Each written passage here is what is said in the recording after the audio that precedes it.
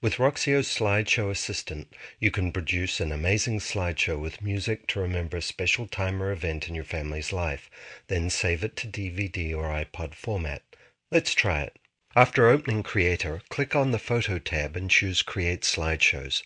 This opens the Slideshow Assistant. The first thing to do is import your photos. I'll click the Add Photos button and choose the pictures I want for my slideshow. This will be a short slideshow, but I could have added hundreds of photos. Once all your pictures are imported, you can reorder them by dragging them around, rotate them, delete them, and even edit them by clicking the Edit button. In the editor, you can do things like crop, remove red eye, and adjust brightness and contrast. I'll adjust the contrast on this picture. You can also add titles and captions to your slides by clicking the Add Text button. I'll add a title to the first photo and position it. Fonts, sizes, colors, and styles are all fully editable if you'd like to experiment. Next, I'll choose the widescreen aspect ratio since I want to play this on my HD TV. Now that I've gotten the photos the way I want them, I'll click the Add Background Audio button to add a soundtrack. Here I could choose an audio file from my music library, but I'm going to show you how to use Smart Sound Audio. Smart Sound is custom generated music that fits the duration and theme of your slideshow exactly. For my vacation theme, I'll choose the Fusion style, then Kickin' Back in the Shoreline variation. I'll preview a little of it by clicking the arrow button.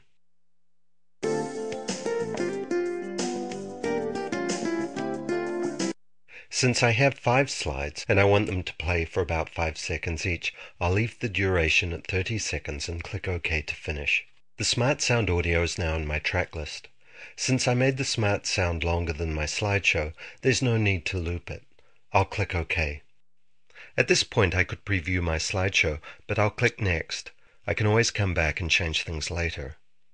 Here's where the fun begins. I can choose from a variety of transition styles. Let's try a few. The dissolve style works well when combined with pans and zooms, which can be applied to all slides. The collage style shows multiple images per screen. And the travel album style puts a frame around your photos. I'll choose the dissolve style for my slideshow. Almost done now. I could also change the slide duration by clicking the plus and minus buttons but I'll stick with 5 seconds. Now I'll preview my entire show to see how it looks.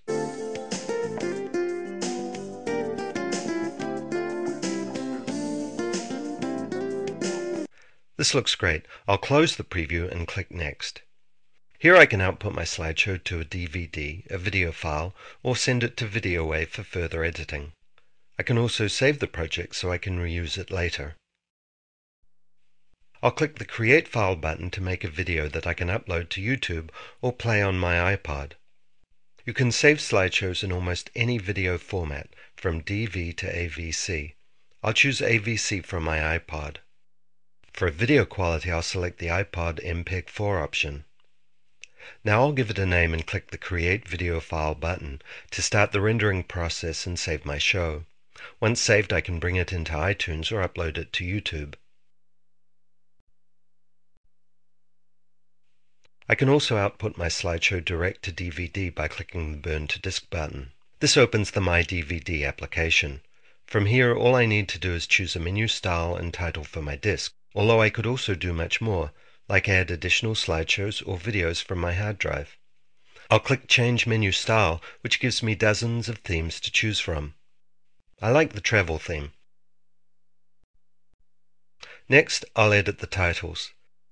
This title is for the disk and this title is for the slideshow. I'm ready to burn now. At the bottom I can see how much space the slideshow will take and choose the disk size and quality level to fit. My small show will fit on a single layer DVD at high quality. Finally, I'll click the Burn button and insert a blank disk. I'm going to burn to disk, but I could also save my project as a disk image file or DVD folder. These can be played back on computers just like regular DVDs. Now I'll click the burn button and record my disc. That's it. I now have a DVD to give to my relatives and a computer file to upload to YouTube.